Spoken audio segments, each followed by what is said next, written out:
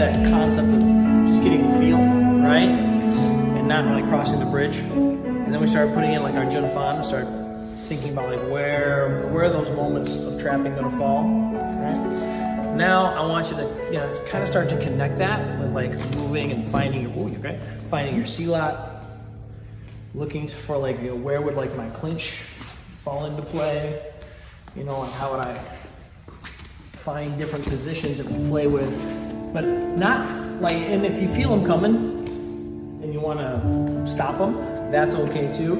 I would make this somewhat cooperative so the person can learn. But then I would also like take moments to make sure like you can defend against it too.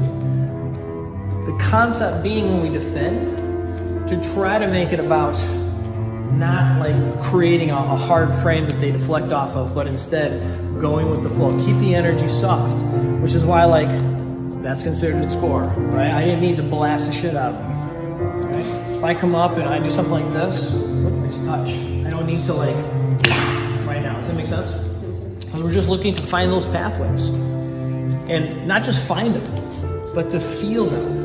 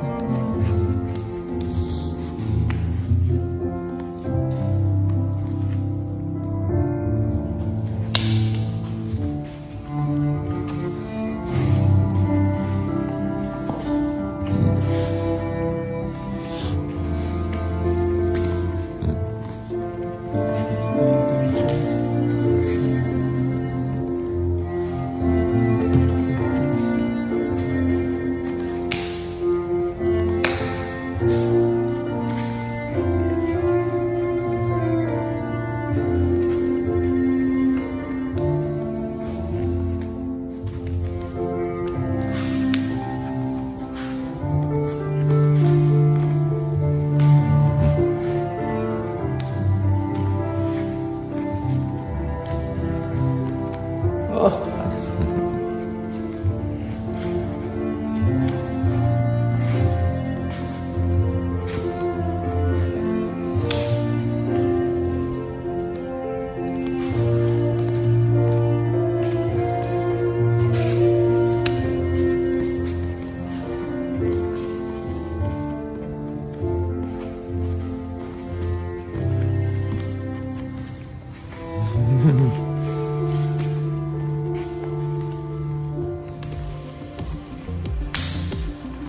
Make sense?